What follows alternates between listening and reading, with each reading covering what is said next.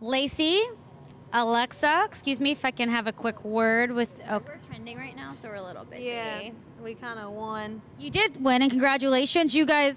Set the proper example. You defeated both the Raw and SmackDown Women's Champions tonight. So, what momentum does this now give you moving forward to Stomping Grounds in order to capture those titles? Then, Well, you know, I've beaten Bayley for titles before, and I'm just going to do it again. You know, it'll be my second time taking a title from Bayley, which is actually kind of sad.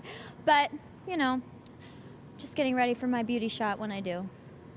Well, I've never beaten Becky before, but I know I've came pretty close. And after tonight, well, if she doesn't know what I'm capable of, then I'll just have to show her the rest. Come stomping grounds, honey. now the two of you seem to work really well together out there. So, another question: Do you see yourself possibly in the future teaming up as a tag team to take on the IIconics for the tag team titles? Excuse me, we are focusing on having titles individually. We're not really focused on anything other than that. That was a dumb question. Well, thank you for your time. Tweet about.